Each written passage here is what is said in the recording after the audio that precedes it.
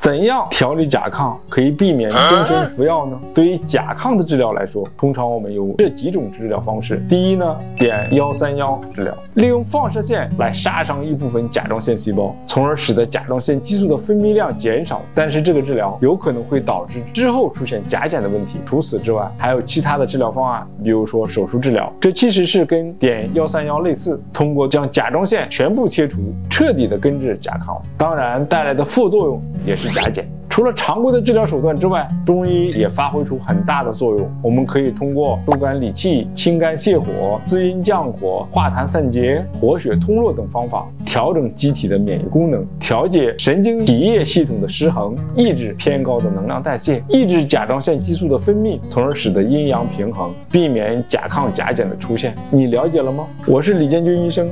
如果你发现自己和家人有甲状腺问题，不妨给我说说，我会给你一个专业的解答。